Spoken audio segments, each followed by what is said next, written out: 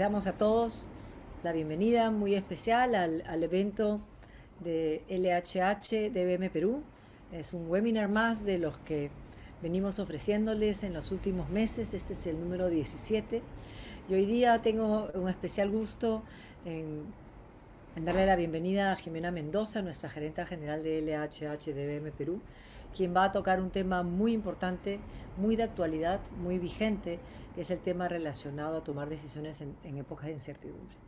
Yo creo que la incertidumbre es algo que nos acompaña, para bien o para mal, en muchos episodios de nuestra vida, no solamente en el que estamos viviendo ahora, en, medio de la emergencia sanitaria, en lo político, en lo económico, sino también muchas veces en, nuestras vidas personales, en nuestras vidas familiares, donde a veces la incertidumbre nos, nos juega mala pasadas y, al momento de tomar decisiones eh, no siempre las tomamos las mejores justamente por el ambiente en el que estamos. Pero bueno, la, la experta Jimena, quien va a hablar con ustedes, eso es ella, y, y yo creo que eh, sin, sin, más introducción, eh, Jimena, te doy la palabra. Muchas gracias por, por esto. Yo sé que es un tema que dominas, pero gracias por el esfuerzo, como siempre, prepararlo. Yo, prepararlo con, con, gran calidad y además lo haces con mucho cariño. Y, y a todos ustedes que nos escuchan, eh, gracias.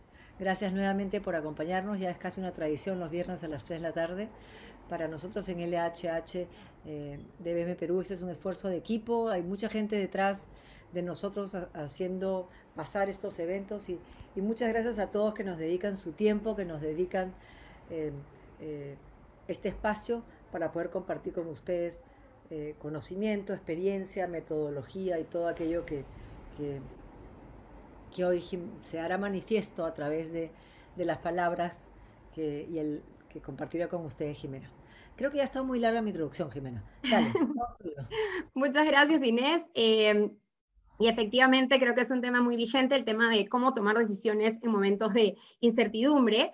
Eh, a veces nos preguntan, y es, ¿esto es solamente para personas que están trabajando? ¿Son solamente para decisiones que podemos tomar en la empresa? Y creo que muchas de las cosas que nosotros compartimos efectivamente pueden estar eh, dirigidas a personas que están trabajando, gerentes, líderes, etcétera, pero finalmente todos nosotros en cualquiera de nuestros roles, nuestros roles como líderes en empresas, como líderes familiares de nuestra comunidad o como personas naturales, realmente nos enfrentamos a momentos de incertidumbre y además en momentos donde tenemos que tomar decisiones. Y hoy la idea es poder compartir con ustedes eh, algunas experiencias, un proceso para poder tomar decisiones y ojalá poderlos ayudar a tomar las mejores decisiones en momentos sobre todo de incertidumbre. La realidad es que tomar decisiones en situaciones normales es siempre difícil. ¿Por qué? Porque tenemos que elegir entre una cosa y otra y siempre nos queda una duda de será la mejor opción o no. Eso claramente se pone un poco más complejo cuando no estamos en una situación normal o en una situación de estabilidad, sino estamos en un momento de incertidumbre. Y en momento de incertidumbre, además, normalmente tenemos que tomar decisiones de alto impacto o muchas decisiones, una tras otra. No es una decisión en un momento, muchos momentos después otra decisión, sino son muchas las decisiones que debemos tomar y que creemos por lo menos que tienen un impacto alto, ya sea en nuestra familia, en nuestras carreras, en nuestra vida personal o en nuestra vida profesional. Así que eso es lo que vamos a conversar. Y como bien saben, el nombre de, este webinar es Tomando decisiones en momentos de incertidumbre y por ende vamos a empezar hablando sobre la incertidumbre. Y aquí viene mi primera pregunta para ustedes. Vamos a empezar un poco a, a tratar de, situarnos y sentir cómo nos estamos sintiendo nosotros en estos días. Y, y, preguntarles a ustedes, ¿qué es lo que en las últimas semanas, vamos a mirar hacia el pasado, ¿ok? Vamos a ponernos en hoy y vamos a mirar hacia el pasado. ¿Qué es lo que en las últimas semanas les ha causado a ustedes más incertidumbre? ¿Cuál es esa situación? ¿Qué es eso que ese problema que, tienen, que tuvieron, nuevamente pensemos en el pasado, ¿cuál es el problema que tuvieron que les causó incertidumbre? Me pueden escribir por el, el, el, los mensajes del Facebook y contarles que cuando hemos estado conversando y hacemos esta pregunta, ¿qué cosa les causa incertidumbre? Son muchísimas las razones y son muchas y, muy distintas para diferentes personas. Algunos eh, Pueden ser temas políticos, pueden ser temas personales, puede ser la estabilidad de su carrera, les causa incertidumbre el futuro de su empresa, les puede causar incertidumbre tal vez, les puede haber causado incertidumbre cómo mis hijos, si tienen hijos, se van a adaptar a la, nueva manera de, de, estudiar de manera remota. ¿no? La pandemia les causa incertidumbre, comienza, comentan, Doris comenta que el trabajo le ha causado incertidumbre, y, y eso es lo que nos ha causado incertidumbre hacia el pasado, y nos lo acordamos, ¿no? Y muchas veces cuando pensamos en momento de incertidumbre hacia atrás, decimos, mira por las cosas que me preocupaban, ¿no? Mira lo que me causaba incertidumbre y hoy es como lo normal. Y aquí viene la siguiente pregunta, es mirando hacia adelante, ¿qué le genera mayor incertidumbre? ¿Qué le genera incertidumbre hacia adelante, hacia el futuro? Y como les comentaba, tal vez eso que nos generaba incertidumbre antes, hoy ya no nos la genera, ya no es algo que nos genera eh, todas estas sensaciones y sentimientos de la incertidumbre, son cosas distintas. ¿Y por qué se los estoy preguntando? Porque en realidad lo que he querido es que recuerden algunos momentos de incertidumbre. Y no es para hacerlo sentir incómodo, una especie de tortura, ni nada por el estilo, sino porque quería que recuerden un poquito, porque cuando recordamos esos momentos de incertidumbre, nos acordamos un poco cómo nos hacen sentir. La incertidumbre claramente nos genera descontrol. La incertidumbre nos hace enfrentarnos a situaciones poco familiares, realmente. Y estas cosas que les preocupan, la economía, nuestro desempeño en el trabajo, cómo será la estabilidad, nuestra estabilidad familiar, eh, e incluso temas como, ¿qué hago? ¿Salgo o no salgo? Yo no sé si ustedes, pero por lo menos al principio de la pandemia, incluso hasta ahora, yo muchas veces cuando tengo que salir a, a, hacer alguna compra o a revisar algunas cosas en la oficina, me da un poco de miedo y pienso, ¿será la decisión correcta salir? Tal vez me debería quedar. Y, y se los pregunté porque quiero que recuerden un poquito ese sentimiento de incertidumbre, que claramente nos hace dudar y nos hace sentir cosas diferentes a cada uno de nosotros. Y la realidad es que nos sentimos así porque a nuestro cerebro no le gusta lidiar con la incertidumbre. A nuestro cerebro y a nosotros nos gusta lidiar con situaciones familiares. No por eso, eh, es por eso que nos dicen que somos animales de costumbre y es una, es una realidad. Es más, les voy a, hacer una pregunta. Probablemente muchos de ustedes, ya son las 3 de la, las, las 3 de la tarde, em, hace poquito de haber almorzado y me imagino que terminando de almorzar han hecho lo típico que es lavarse los dientes. Y probablemente esta pregunta la gran mayoría me va a decir que sí. Cuando ustedes se lavan los dientes, ¿hacen algo a la vez? Yo, por ejemplo, veo mi, mi celular, ¿no? Y cuando me puse a hacer este ejercicio, dije, ok, voy a hacer el ejercicio de cambiarme de mano, yo soy diestra, y de lavarme los, dientes con la mano izquierda. No había forma que yo pudiese ni siquiera agarrar el teléfono, ni mucho menos tratar de concentrarme en leer un teléfono.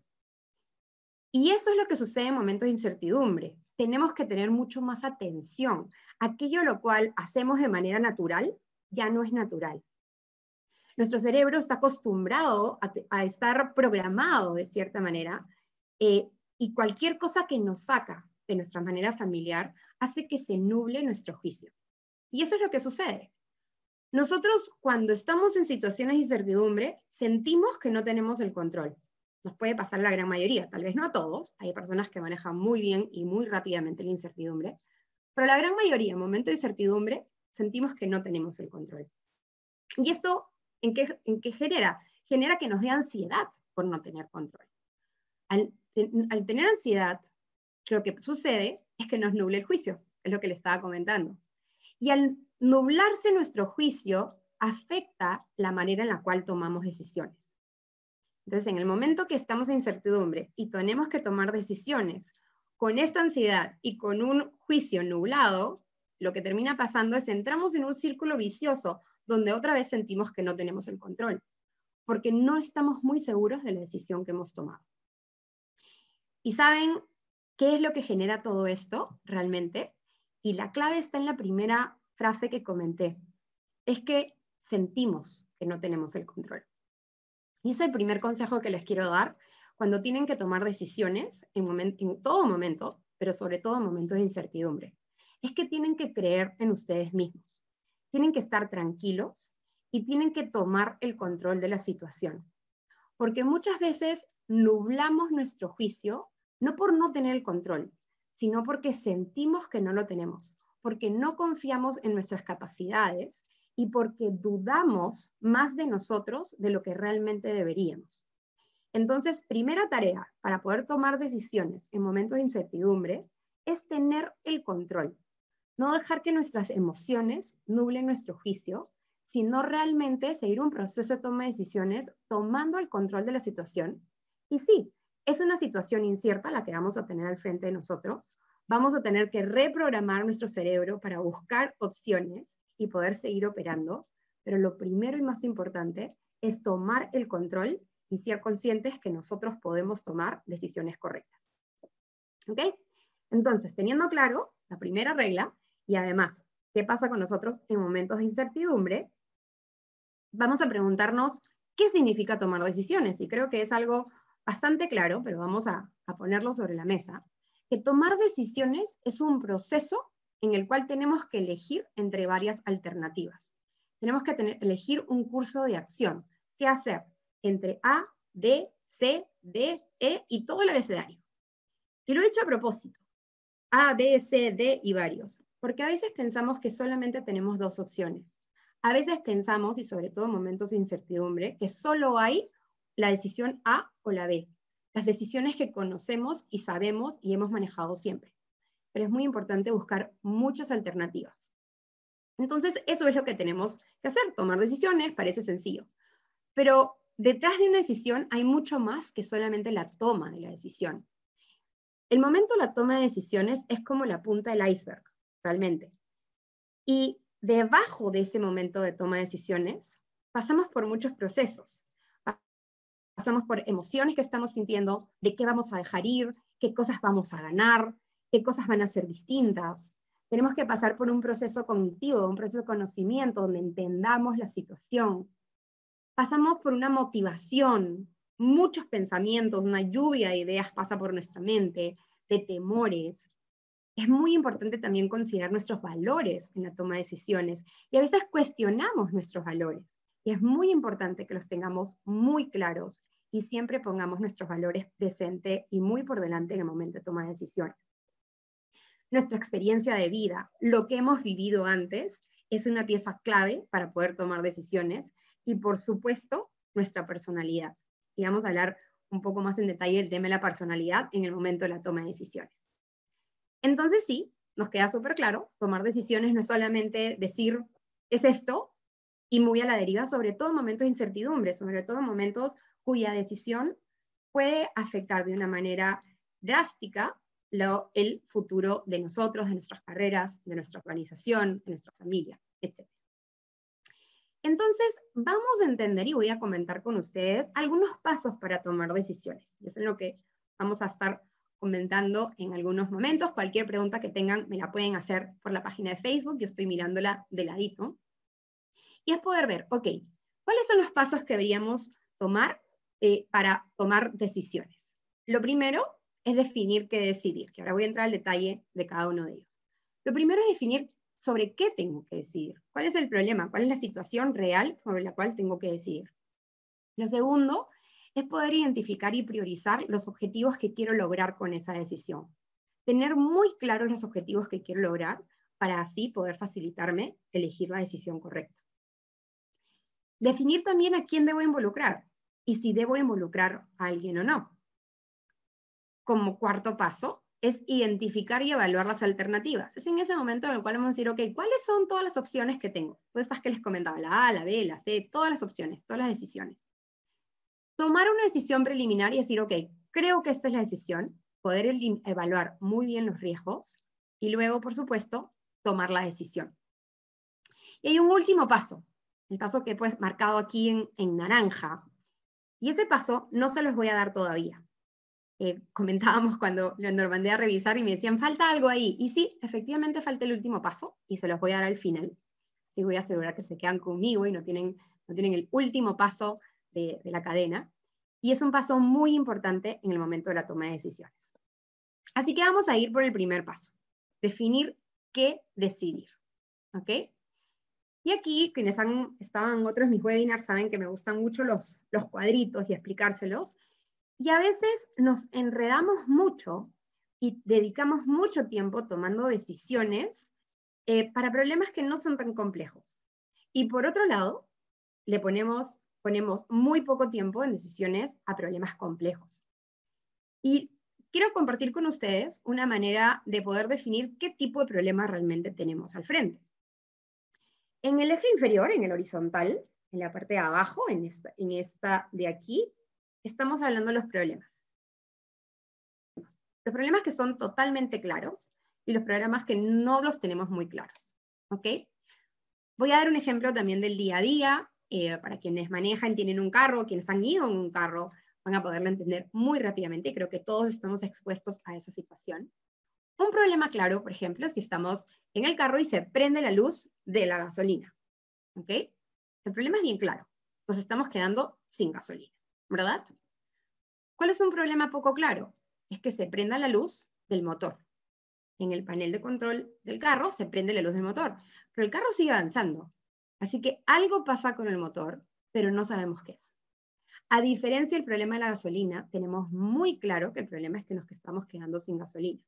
En el problema que se prenda la luz del motor, hay una serie de opciones que puedan estar sucediendo.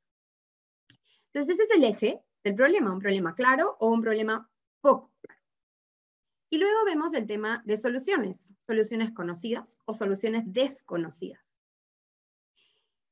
Eh, eso creo que no lo tengo que explicar mucho, pero claramente eh, un problema va a poder tener una solución y a veces tenemos un problema al frente donde no sabemos cuál es la solución. Entonces, el primero, el primero hacia abajo, el de la izquierda hacia abajo, son los problemas simples. Aquellos que es un problema claro y una solución clara. Como les decía, se prende la luz de la gasolina, tengo que poner gasolina. Es súper claro. Pero sin embargo, para algunos problemas claros, no hay una solución conocida.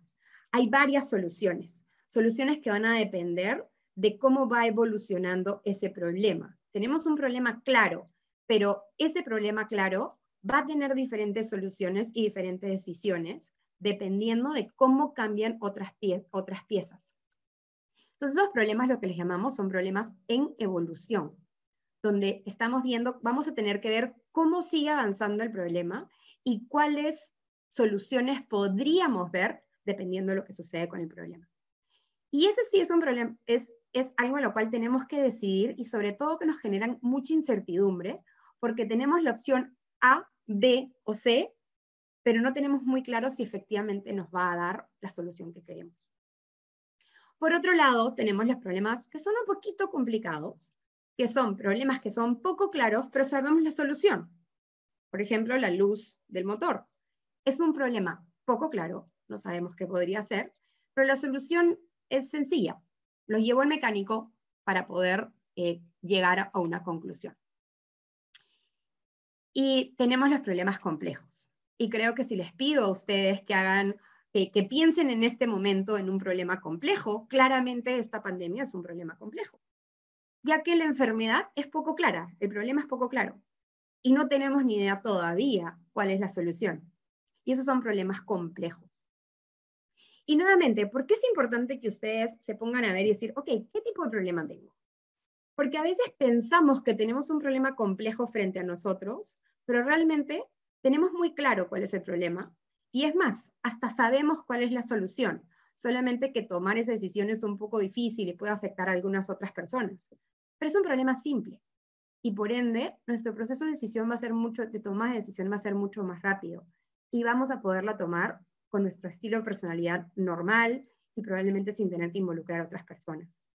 Es en aquellos problemas complejos en evolución donde realmente tenemos que pasar por una toma de, un proceso de toma de decisiones un poco más detallado para asegurarnos que realmente encontramos esa solución que no la vemos cercana y tenemos que seguir los pasos que vamos a hablar a continuación.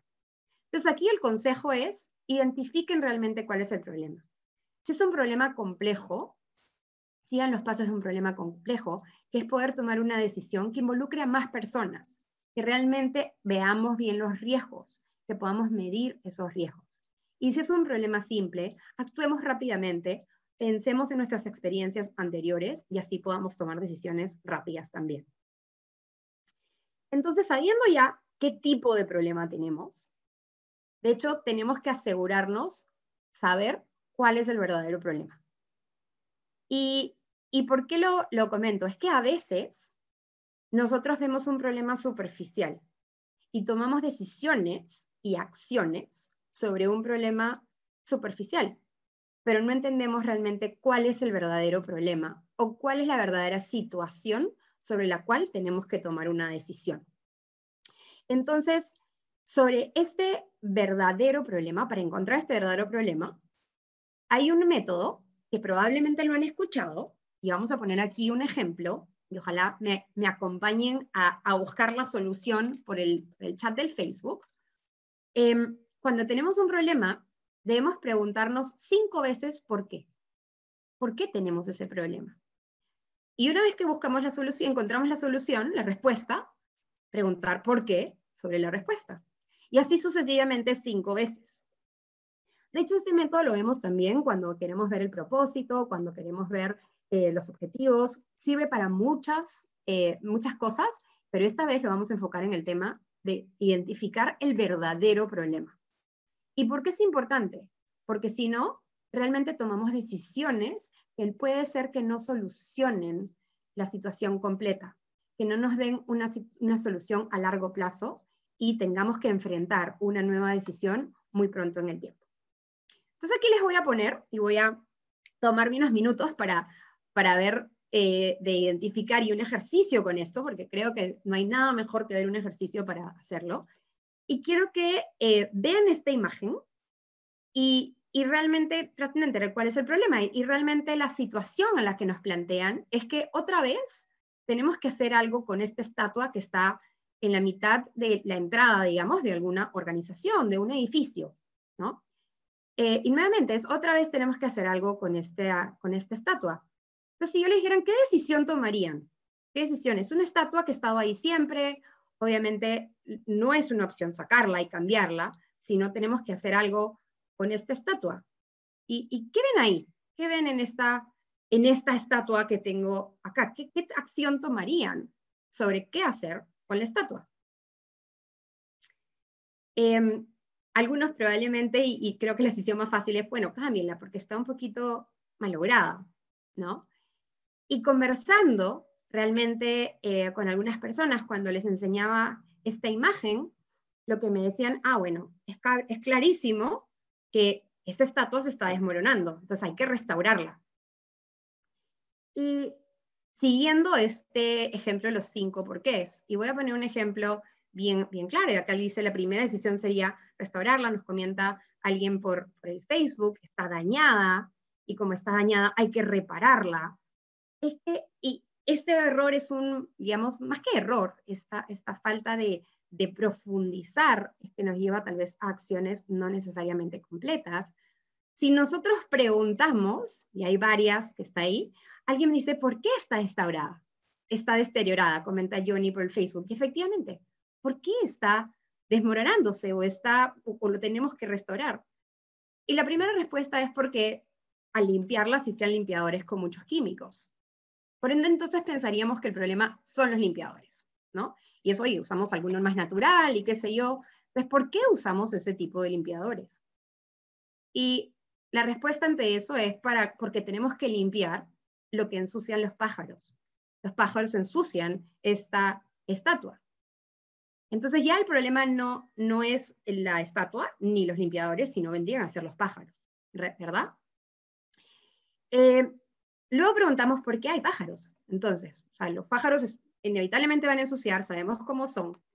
¿Por qué hay tantos pájaros alrededor de esa estatua particularmente y no alrededor de todos lados? Y es porque en esa estatua hay muchas arañas y los pájaros eh, se las quieren comer. El siguiente, la siguiente pregunta entonces sería, ¿por qué hay arañas? Y la realidad es que hay arañas porque hay insectos. Ok, entonces ya el problema no era el químico, no, eran no son los pájaros, no son las arañas, son los insectos. Y si nos quedáramos aquí, y claro, tendríamos, vamos a pasar, y eso es un ejemplo claramente, la pregunta número 5, y, y, si tuviéramos tiempo y pudiésemos hablar todos, les preguntaría, ¿alguien tiene idea por qué hay insectos? La respuesta final es porque las luces al anochecer atraen insectos.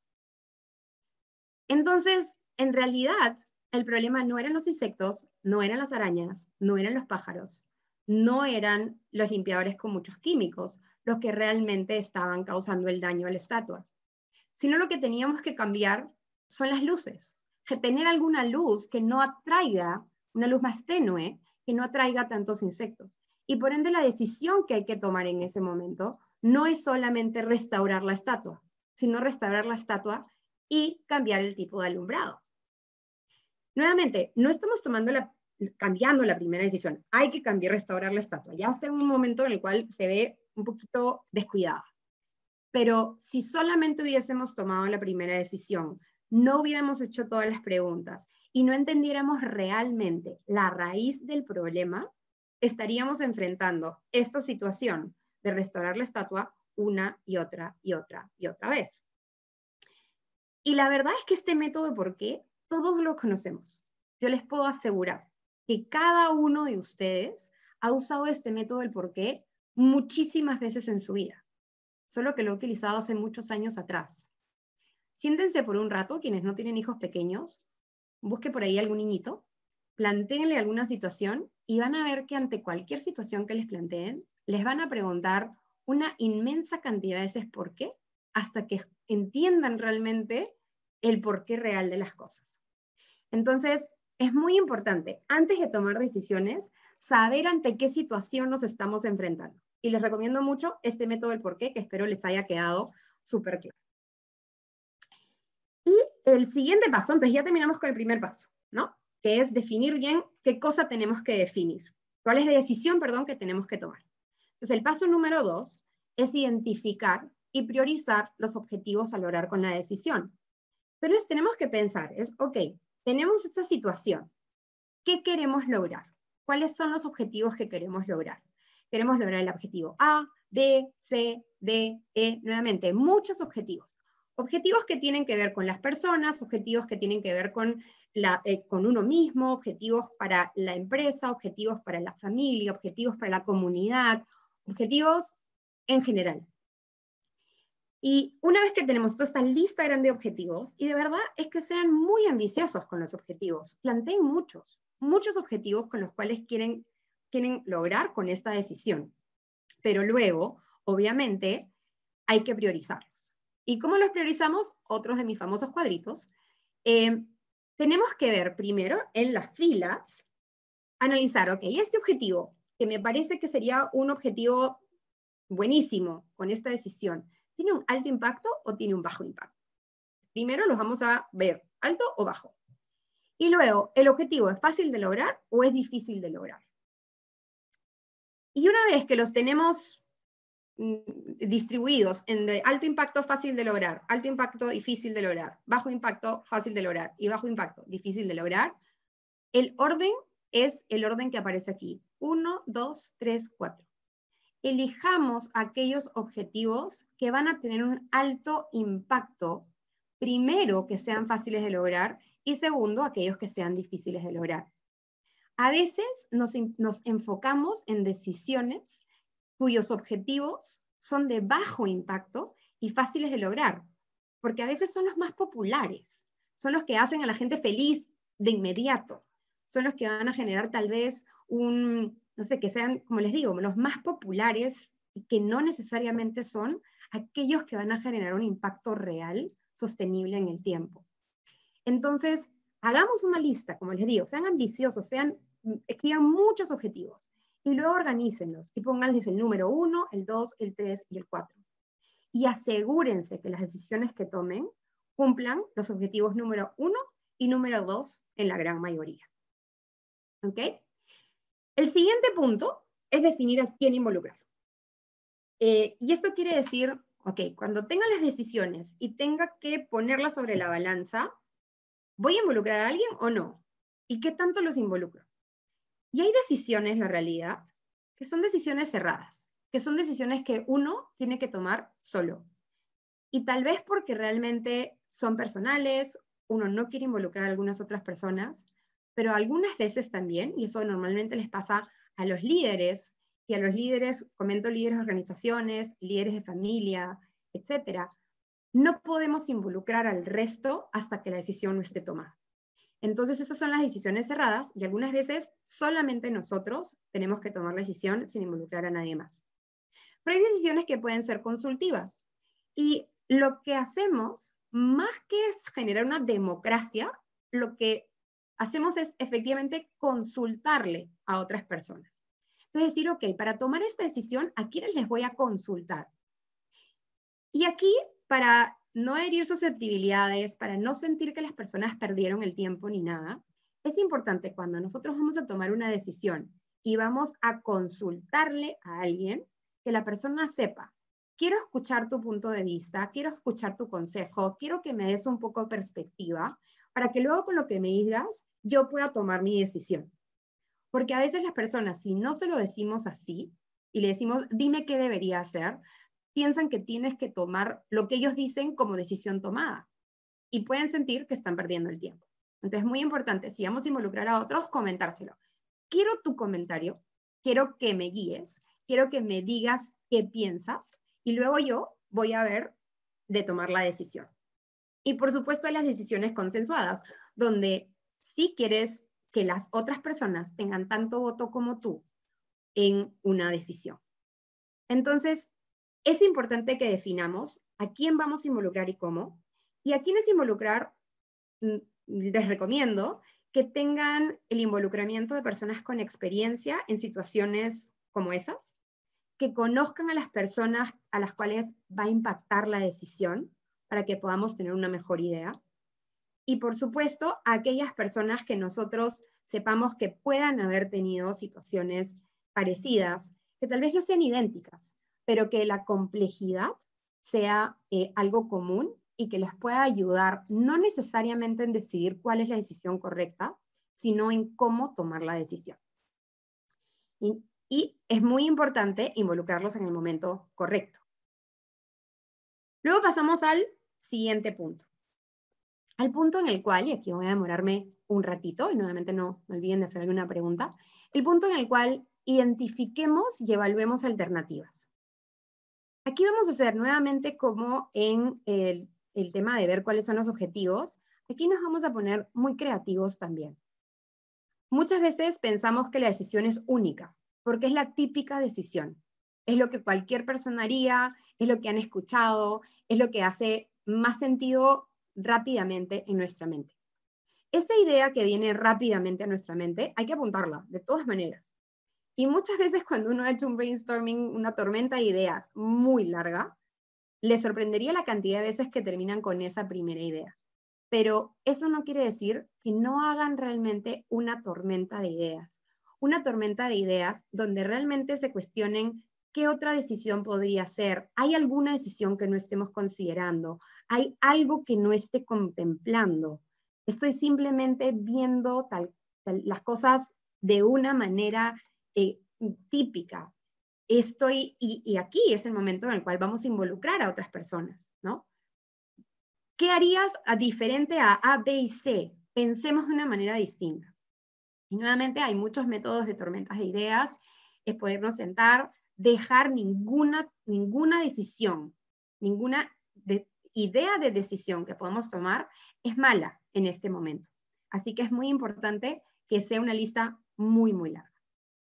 Una vez que tengamos la lista y que podamos evaluar cuáles son las diferentes decisiones que podríamos tomar, hay dos métodos que para evaluar la, decisión que, a nosotros nos gusta mucho, a mí particularmente me gusta mucho, que es una es evaluarlos en la matriz eh, de fortalezas, oportunidades, debilidades y amenazas. La matriz FODA, matriz SWOT en inglés, y si vieron el em, webinar que, eh, en el cual estuvo Mariela Soto hace unas semanas, lo explicó en detalle, voy a explicarlo eh, muy rápidamente para poder seguir en los siguientes puntos, pero la idea es poder ver esta decisión, qué fortaleza tiene, y esta decisión, qué debilidad tiene.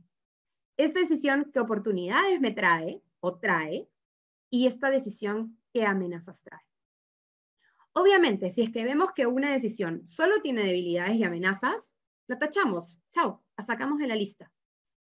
Y podemos ir haciendo esto, no necesariamente a una profundidad súper súper detallista, a menos que sea un problema complejo y de muy alto impacto. Y vamos viendo, ok, tiene más oportunidades, tiene muchas fortalezas, tiene muchas oportunidades, tiene muchas fortalezas y un par de amenazas, ok, no las descarten.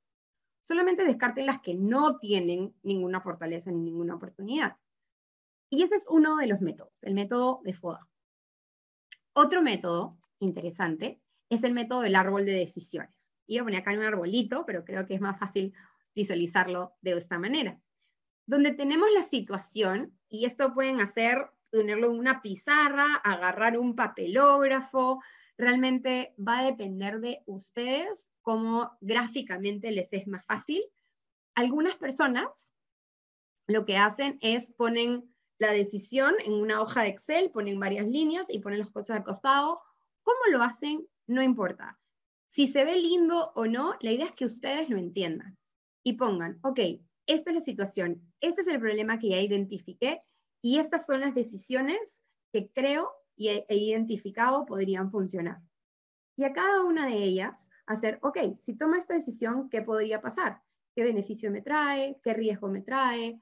Y así ir viendo una por una, por una, por una, por una. Tómense su tiempo para tomar una decisión compleja, a menos obviamente que sea una decisión urgente, y esto van a tenerlo que hacer rápidamente en su mente. En el momento en el cual estemos viendo estas decisiones, las tengamos plasmadas, si por A o B se les ocurre una nueva, pónganla. No digan, ay, no, lo que pasa es que no la tenía identificada al principio. El ir por este ejercicio muchas veces hace que vengamos con una nueva decisión a la mesa y que realmente veamos que las distintas decisiones nos pueden traer muchos beneficios. Y algunas tendrán riesgos, pero realmente a veces es, eh, vale la pena tomarlos. Obviamente, si solamente hay riesgos, pues es una decisión nuevamente que deberíamos tachar.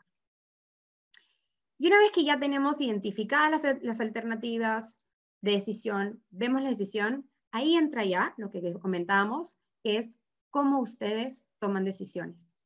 Cómo es su personalidad y cuál es su estilo de comportamiento y cómo ese estilo afecta en la toma de decisiones. Y aquí voy a ir comentando algunos estilos, que hay muchas muchos modelos de ver de diferentes estilos. Este, eh, este es el modelo de comportamientos de Bolton and Bolton, de Bolton y Bolton. Em, y voy a ir en cada uno de ellos y probablemente ustedes vayan sintiendo que les estoy hablando a ustedes. O estoy hablándole del total opuesto de ustedes. Y ojalá cada uno pueda realmente identificar su estilo. Eh, dentro de todo podríamos estar en estos cuatro cuadrantes y la realidad es que somos un poquito la mezcla de todos, pero normalmente somos preponderantes en uno. Y lo que tenemos que saber y lo importante de saber cuál es mi estilo es que cuando tenemos y enfrentamos problemas en evolución y problemas complejos, muchas veces tenemos que cambiar nuestro estilo para asegurarnos que estamos realmente considerando todas las opciones o manejándolo de una manera correcta. Aquellas personas que están en el cuadrante son considerados los amables, que son más los tranquilos y espontáneos, son aquellos amables, muy enfocados en personas. Estas personas prefieren pensar en el impacto en las personas, buscar el consenso, que todos estén felices con la decisión y proceder muy cuidadosamente.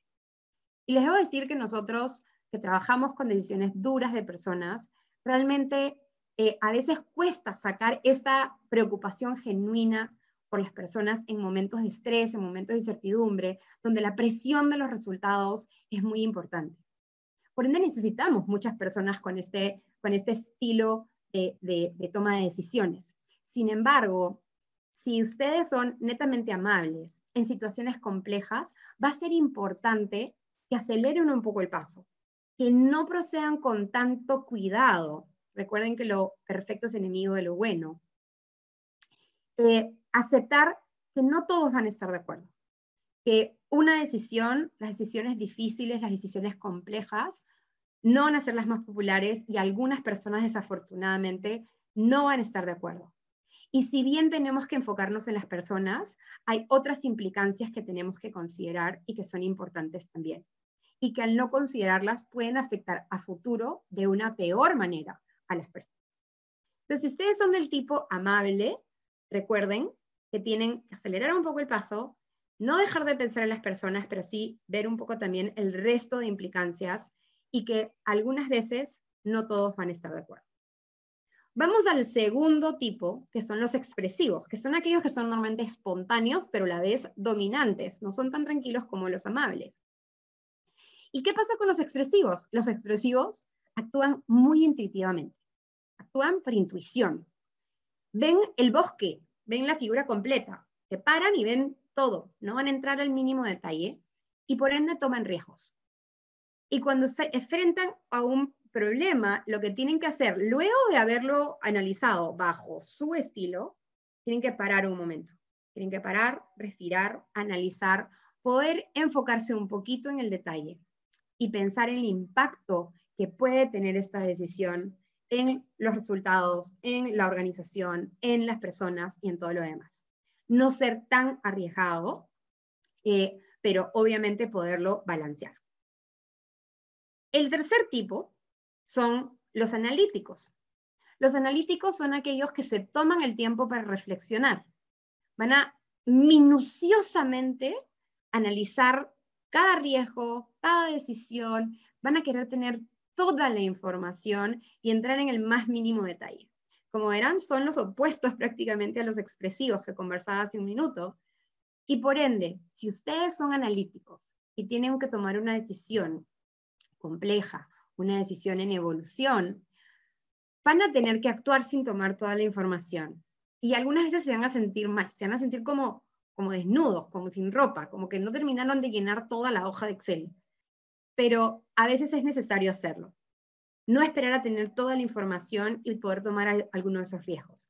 Poder acelerar el proceso de decisión y poder tener una visión más amplia, retroceder unos pasos. Como verán, es lo opuesto.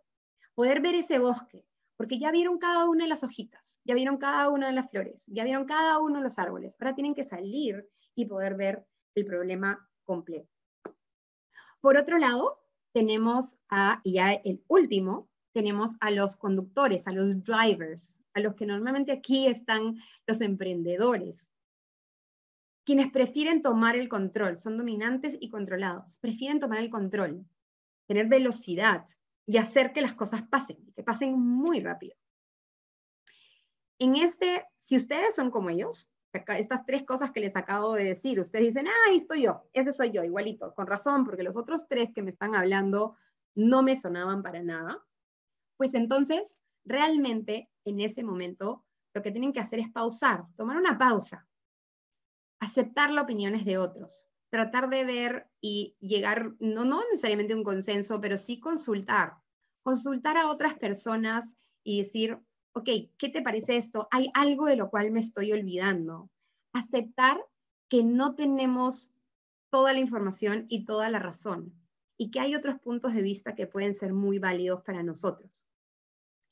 Y antes de dar el salto, mirar, parar y decir, ok, no sean tan atolondrados, paren realmente y tomen una decisión. Me he tomado unos minutos comentándoles estos estilos porque realmente, mm, y, como les comentaba, y si quieren pueden escribirnos, yo soy amable, yo soy expresivo o analítico o conductor, muchas veces nuestra toma de decisiones, como habrán visto, tiene un punto ciego. Así como cuando uno maneja, y a veces tenemos un punto ciego en los espejos, nuestros estilos generan que tengamos puntos ciegos en la toma de decisiones. Y si somos más analíticos o somos más conductores, a veces nos olvidamos de cómo nuestras decisiones impactan en las personas. Si somos, por un lado, expresivos, puede ser que nos estemos olvidando algunos detalles que son muy importantes de ver antes de tomar una decisión. Entonces, tómense un minuto para poder evaluar y decir, ok, ¿cómo soy yo?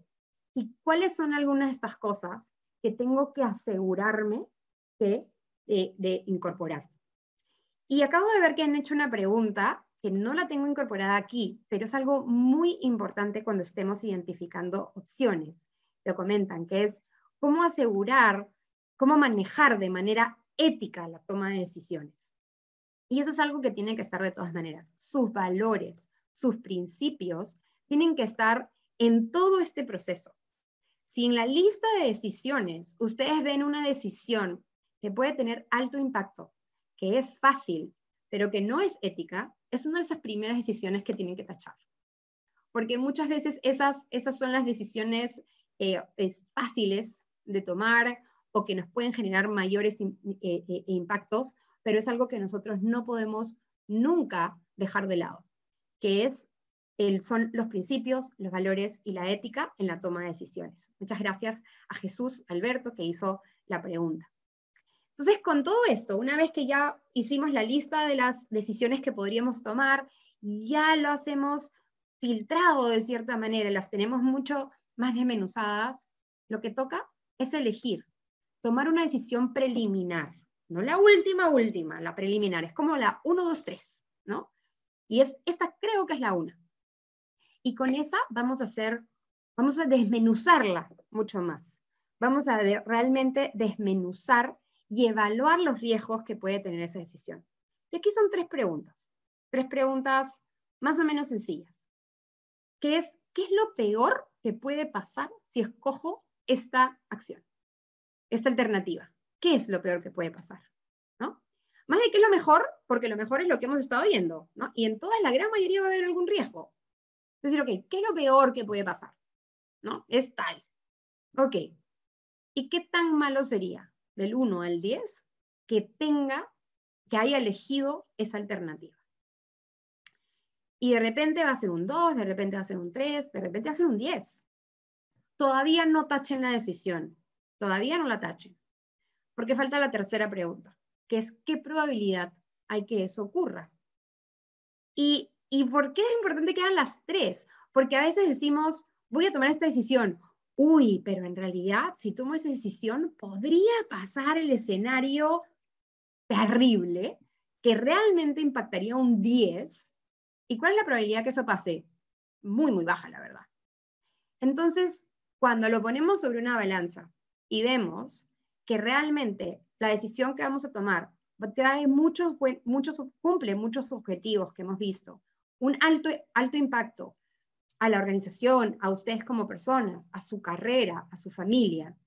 Y realmente en la probabilidad que haya algo que pueda pasar negativo, esa probabilidad es muy, muy pequeña, a veces hay que tomar ese riesgo. Hay que realmente tomar ese riesgo y poderlo balancear. Si es que hay algo que podría pasar, algo muy malo que podría pasar, que del 1 al 10 está en 9, y que la probabilidad que eso ocurra es el 80%, de hecho tendrían que haberlo eliminado en el paso anterior. Pero igual, puede pasar, que no nos damos cuenta de algo y de repente en el momento que estamos repreguntando a otras personas, llegamos a esa conclusión. Y si eso pasa, retrocedemos al paso anterior y vemos otras opciones y volvemos a venir a ver de tomar una decisión preliminar y evaluar riesgos. Es muy importante hacer este check. Y y en este momento, realmente, aun cuando ustedes creen que pueden tomar una decisión solos, y sobre todo les pasa esto a los analíticos y a los conductores, que pueden tomar una decisión solos, que ustedes saben todo, que ya lo han visto, que es algo parecido a algo, pregunten, pregunten y digan, tengo esta decisión, he tomado, este, estoy pensando que voy a tomar esta decisión, ¿qué pasa, qué podría pasar mal con esta decisión? Que te la califiquen del 1 al 10 y que luego te digan realmente qué probabilidad crees que esto ocurre. Entonces, en ese momento, pídele consejos a alguien de confianza, alguien que tenga mucha experiencia, que haya pasado por esto y que conozca mucho la situación y, y de esa manera poder pasar a la penúltima etapa, que es la de realmente tomar la decisión. Una vez que tomamos la decisión, ya está tomada, esa es su decisión y tenemos que ver ahora si a quién le vamos a informar. A veces no tenemos que informar a nadie, es una decisión personal, es mía, yo voy a tomar mi decisión y ya está. Pocas veces no tenemos que comentar una decisión, la verdad. Pero ¿a quién se la vamos a informar? ¿A quién va a saber que estamos tomando decisión? ¿Qué acción tenemos que tomar a cabo? ¿Quién la va a tomar? Porque a veces nosotros tomamos decisiones que otras personas tienen que realizar. Yo tomo una decisión que tienen que acatar o que tienen que actuar mis hijos. Tomo una decisión que tienen que actuar mi equipo. Tomo una decisión que tengo que hacer con mis pares. Entonces es bien importante que los involucremos y que veamos bien claro cuáles son los pasos que tengo que seguir para poderla llevar a cabo. Y muy importante, cómo voy a comunicar la decisión. Eh, si bien les comenté que hay decisiones que no van a ser populares y, claramente hay, hay decisiones duras que no van a ser populares, lo importante es que cuando las comuniquemos seamos muy sensibles.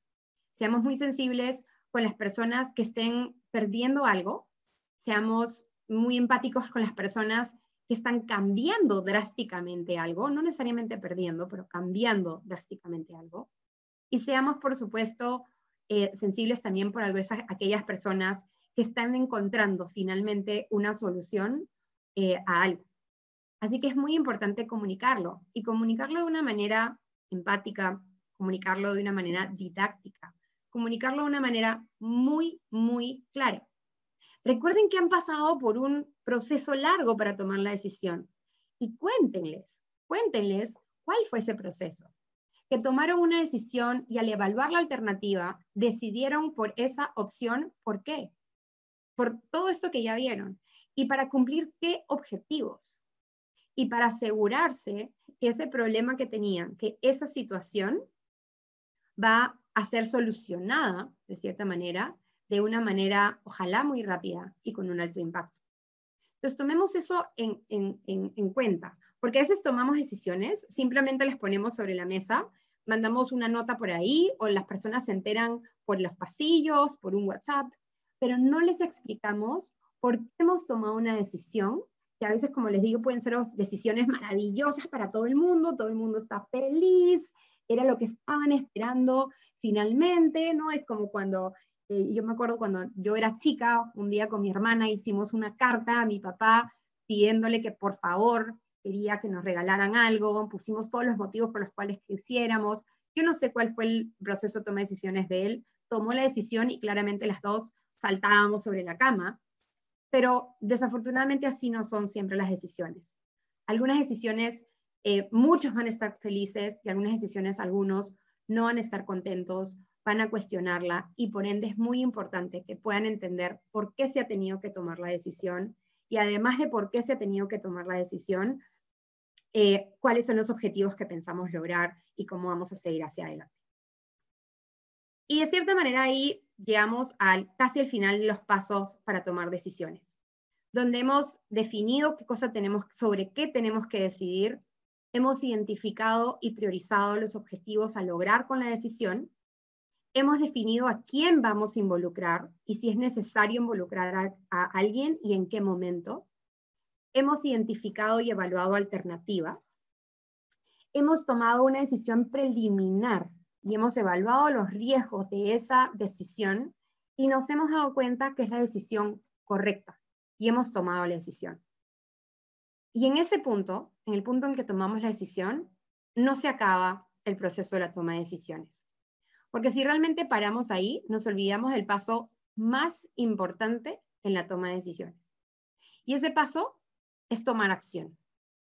Muchas veces dedicamos mucho tiempo, mucho esfuerzo, a veces esa decisión tiene que ser consensuada, conseguimos la aprobación de todo el mundo, la tenemos y la tenemos sobre la mesa y no actuamos. Sabemos que es algo que tenemos que hacer, estamos convencidos que es la mejor decisión y no actuamos. Y tal vez no actuamos por miedo, tal vez no actuamos porque no nos sentimos capaces, Tal vez no actuamos porque sentimos que esa decisión puede ser dolorosa para alguien, pero la realidad es que sí hemos pasado por este proceso en el cual hemos pensado realmente muy a profundidad las decisiones y sabemos que son las decisiones correctas para la situación que enfrentamos, tenemos que tomar acción. Preparándome un poco para este webinar, encontré este quote que, me gustó mucho. Ya con esto prácticamente vamos a cerrar este espacio juntos y es de, Tony Robbins, que es un estratega eh, americano, que dice, una decisión real se mide por el paso que das para tomar acción. Si no hay acción, no has decidido realmente. Así que cuando tomen decisiones, realmente los empujo a que actúen, a que no quede esa decisión sobre la mesa, a que no sea simplemente estamos todos alineados, esto es lo que tenemos que hacer y no lo hacemos. Porque si nada ocurre hacia adelante. Así que con esto eh, los dejo, espero que les haya servido este espacio, que les haya dado algunas ideas para poder tomar decisiones de una manera más estructurada en momentos de incertidumbre y que pueda generarles alto impacto a ustedes como personas, como profesionales y como miembros de obviamente familias, organizaciones y comunidades. Eh, antes de darle el pase a Inés, agradecerle como siempre a todo nuestro equipo del EHH DBM, que, que es quien cuando tenemos que tomar decisiones en la empresa, pues obviamente nos apalancamos mucho en ellos para poder tomar siempre las mejores decisiones para nosotros y para todas aquellas personas que asesoramos. Muchísimas gracias y los dejo ahora con Inés Temple para unas últimas palabras. Muchas gracias Jimena, la verdad que he escuchado con tantísima atención tu presentación, eh, siento que he aprendido un montón, tomado fotos a tus láminas, la verdad que súper, súper bien, te, te agradezco y te felicito, muy didáctica además, eres muy clara cuando explicas. Eh, estoy segura que todos eh, sienten igual que yo y, y, y me tomo la libertad de agradecerte eh, en nombre de todos ellos por esta super presentación. Y no sé, Jimena, si de repente eh, quieres tomar una o dos preguntas que puedan estar por ahí. Sí, voy a, voy a estar mirando. Creo que hay algo, y me ha gustado mucho, y tengo, creo que tengo que, que, realmente fortalecerlo y volverlo a, a, a mencionar, que muchas personas han estado mencionando la importancia de la ética en la toma de decisiones. Y si bien no han sido preguntas, las personas lo han, lo han mencionado. Es algo que no debemos olvidar y, y que finalmente cuando ponía este cuadrito de cuáles son los objetivos, si son objetivos fáciles de alcanzar, eh, muchas veces eh, algunas personas piensan que tomar una decisión, eh, a veces podemos tomar atajos. Y realmente esos atajos a la larga nos cuestan mucho, nos cuestan mucho como personas, nos cuestan mucho como profesionales y nunca nunca debemos arriesgar realmente nuestra, eh, nuestra marca personal, como bien siempre decimos nosotros, y tú lo, mencionas mucho, por tomar un atajo que, pone en, cuestión nuestros valores y nuestra ética. Así que para la toma de decisiones es algo muy, muy claro que debemos considerar. Y, además, eh, esos errores éticos donde uno estira la, la ética o, o se siente impune o que sus acciones no van a ser o encontradas, descubiertas o, o castigadas, eso genera un daño inmenso en nuestra credibilidad. Y sin credibilidad, pues no manera que tengamos una buena reputación, una buena marca, nada de eso, ¿no? Eh, súper, yo, yo, creo que eso es la esencia, porque al final, y nos ha pasado cuántas veces a nosotros, Jiménez, en la empresa, cuando tenemos que tomar decisiones, al final, si uno se encuentra primero eh, en el fondo de su corazón qué es lo correcto y qué es lo que me mueve en función de, la, de mi visión, de mi propósito, de qué es lo que quiero hacer. Y, y, juntamos esa misión, ese propósito con lo que es correcto, con lo que yo sé que me va a dejar dormir tranquilo a largo plazo y, siempre, y que, y que no por ganar un poco de dinero o quedar un poco mejor allá o, o hacer algo mejor que los demás voy a encontrar un, un, un corta camino a lo que es correcto. Así no funciona. O sea, yo creo que la única manera de dormir bien todas las noches, de tener una reputación impecable y de tener una conciencia limpia es tomando siempre decisiones basadas en propósito y basadas en ética, en corrección, en, valores, ¿no?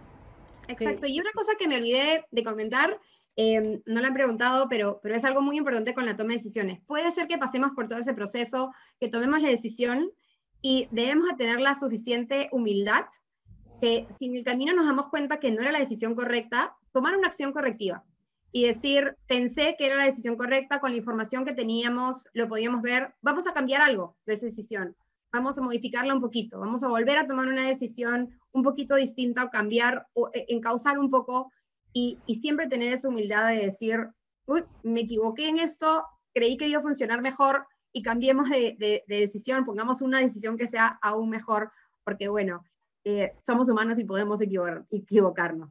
Y un tema importante, Jimena, que a mí personalmente me, me ha funcionado siempre, creo, es que uno tiene que poder seguir su instinto.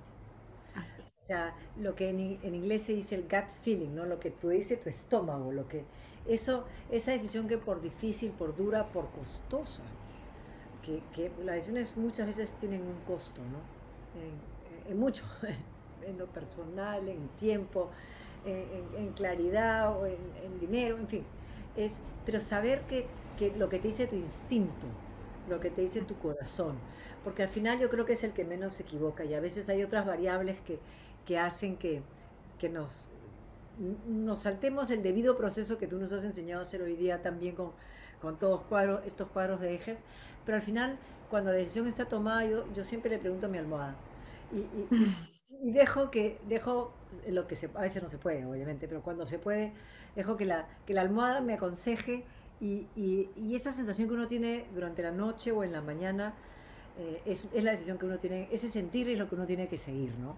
Porque a veces me ha pasado de despertarme la mañana y decir, no, no, no, eso que hemos decidido no va. No, no puedo dormir de pensar que es el camino equivocado. Y uno tiene que estar tranquilo, uno tiene que saber lo que hace en base a su propósito y en base a su, a su corrección, ¿no? Así es.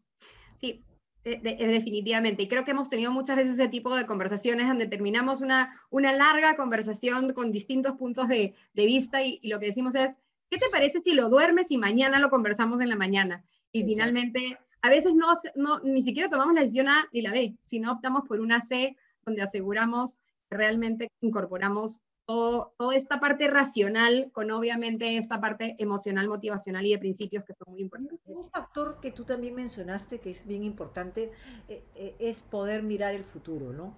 Es cómo me voy a sentir con esta decisión mañana, en una semana, en un mes, en dos años, en diez, ¿no? Y ponerse al mismo tiempo en esa posición del futuro donde dice, ok, aquí en diez años, cuando yo mire para atrás y piense en esta decisión, me voy a acordar las razones por las cuales la tomé.